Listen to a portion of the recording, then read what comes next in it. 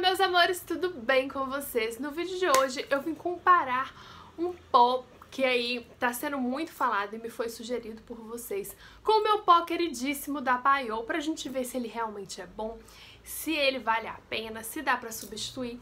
Mas antes da gente começar, já deixe seu joinha que é muito importante pra mim. Se você é novo aqui no canal, se inscreve, ativa o sininho de notificação para você não perder nenhum vídeo, que agora temos oficialmente dois vídeos na semana aqui no canal. Então se inscreve aí e ativa o sininho para você não perder nada. E me segue lá no Instagram para você participar das enquetes sobre programação aqui do canal, qual vídeo você quer ver, pegar as dicas que eu dou por lá, uns mini tutoriais no feed no Stories.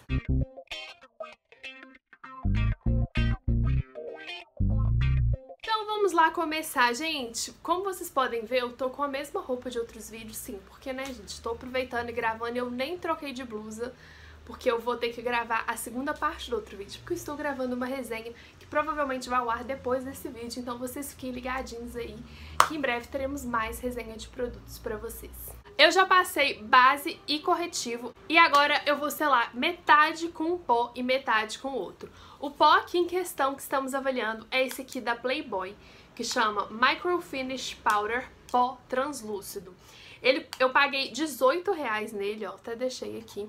Baratinho, comprei nessas lojas de chinês mesmo, do centro aqui de BH. Perto da Galeria do Ouvidor, caso alguém queira saber. É na rua da portaria de baixo, assim, é bem do lado.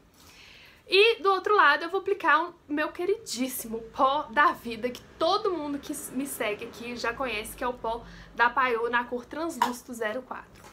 E para aplicar esses dois pós, eu vou utilizar esse pincelzinho aqui da Mariana Saad, que é o MS2. Como você sabe, eu gosto de aplicar o pó ou com um pincel menorzinho, tipo esse, ou com a esponjinha, mas eu acho que pra avaliar o efeito do pó, com o pincel seria mais justo, porque a esponjinha, eu já dei essa dica pra vocês, ela ajuda o pó a sentar mais na pele e no acabamento. Então, pra gente ser justo, bora lá com o pincel. Desse meu lado esquerdo, eu vou aplicar o pó da Playboy. E ele vem assim, ó, bem soltinho, tem essa esponjinha aqui. E eu vou pegar o pó aqui e já vou falar pra vocês de cara que ele é um pó bem fininho. O que nesse ponto já está super aprovado, porque eu já expliquei pra vocês que eu gosto de pó fino, porque ele não deixa aquele aspecto de reboco, de tijolo, de cara mais velha, rebocada assim na cara, não é? Então nesse ponto ele é bem fininho, vamos ver o efeito dele no rosto. O lugar mais assim que eu vejo diferença, que eu noto a diferença do pó, é aqui na região abaixo do olho, que a gente tem que selar bem o corretivo. eu aplico sempre dando batidinhas pro pó assentar na pele, né? Assentar o corretivo e depois eu vou varrendo o excesso.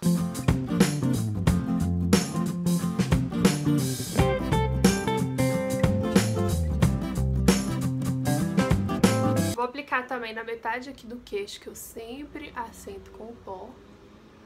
E aqui na metade da testa.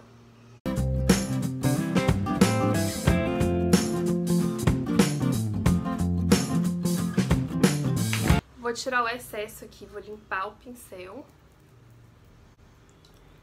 E do outro lado eu vou aplicar o meu da Paiô, que é na cor translúcido 04, que a gente sabe que ele é super fininho, ele parece um talco. Tá vendo? Ele é muito fininho. Vocês sabem que eu amo esse pó, então vamos ver esse daqui do lado desse. Claro que esse daqui tem as partículas de brilho, que o da, da Playboy já não tem, né? Que dá um efeito crepúsculo, como diz a maquiadora Nath Teodoro, que foi quem me apresentou esse pó, que dá um efeito mais acetinado na pele.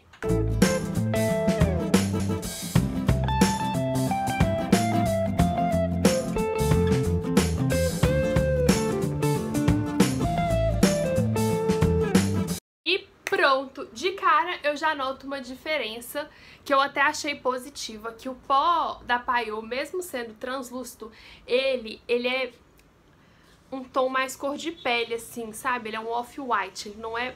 Ele é menos esbranquiçado que o da Paiô, sabe? E ele adiciona um pouco de cor aqui na olheira, olha. E ele é bem mate. Já o da Paiô tem as partículas de brilho que refletem e ele fica mais naturalzinho. Os dois pós são bem fininhos. Eu gostei muito do pó da Paiô.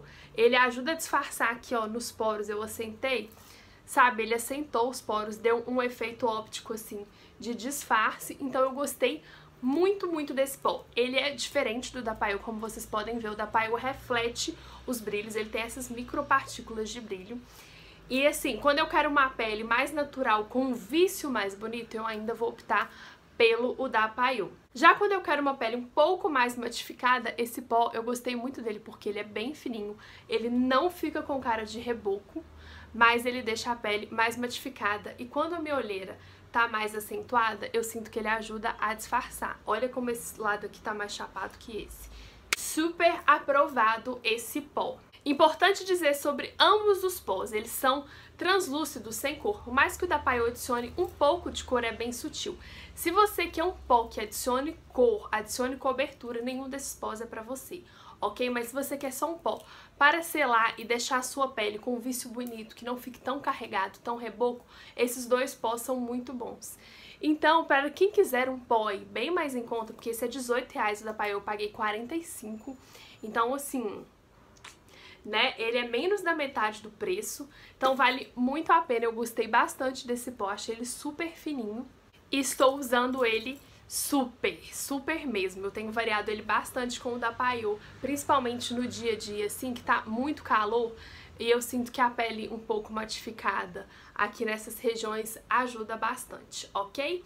Deixa aqui nos comentários abaixo se você já testou qualquer um desses pós, se vocês gostam deles e se tem algum pó baratinho que vocês acham que eu deva testar. Então, pra quem aí nunca achou o pó da Paiô, porque às vezes ele é meio difícil de achar, tá em busca de um pó solto, fininho aí, eu super recomendo esse da Playboy, está super aprovado. Se você já comprou ou comprar esse pó da Playboy, deixa aqui nos comentários abaixo o que você acha dele. E se você também já aderiu ao pó da Paiô, e é, é muito difícil achar um pó igual esse da Paiô, né? Que tem as micropartículas de brilho, que dá um reflexo. Tá vendo como ele deixa o vício da pele mais natural, mais bonito? São propostas diferentes, mas ambos os pós são muito bons e eu gosto bastante. Um beijo e até o próximo vídeo.